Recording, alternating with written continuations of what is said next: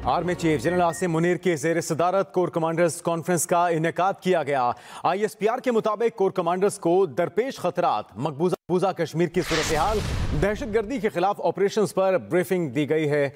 Army chief general Asim Munir की जेर सदारत कोर कमांडर्स कॉन्फ्रेंस, जिसमें दरपेश खतरात, मकबूजा कश्मीर की सूरत हाल और दहशत गर्दी के खिलाफ ऑपरेशन पर ब्रीफिंग दी गई। खालिद महमूद हमारे नुमाइंदे, उनसे मजीद तफसीत जानते हैं। खालिद महमूद, इस कॉन्फ्रेंस में किन उमूर को जेर गौर लाया गया? ये देखें जी, आज जी एच क्यू में army chief general Syed Asim Munir की क्यादत में, सरबराही में आज कोर कमांडर कॉन्फ्रेंस हुई, जिसमें जो खासकर मकूजा कश्मीर की सूरत हाल है, उस पर ही बात की गई, और जो दहशत गर्दी के गठजोड़ हैं, उस हवाले से भी आज जो कॉन्फ्रेंस थी, उसमें ज़िक्र किया गया। इसके अलावा जो सबसे इम्पोर्टेंट इशू था, वो आज पिशावर के जो वाक़ था तो उसके ऊपर जो है, वो तमाम तफसीत से कोर कमांडर कॉन्फ्रेंस को आगाह किया गया, और जो शहदा ने कुर्बानियाँ दी हैं, उनको खराज अकीदत पेश किया गया।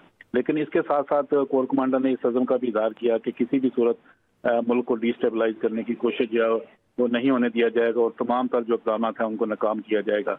इसके अलावा आर्मी चीफ का ये भी कहना था कि दहशत गर्दों को इंसाफ के कटहरे में लाया जाएगा और ये जो बुजदलाना कार्रवाइयाँ की गई हैं ये हमारे अजम को कमज़ोर नहीं कर सकती और ऐसी कार्रवाइयों से जो हमारे अजम को मजीद तकवीत मिलती है। और इसके साथ उन्होंने ये भी वाजह किया कि दहशत गर्दों के लिए ज़ीरो टॉलरेंस है। जी। बहुत शुक्रिया आपका खालिद महमूद।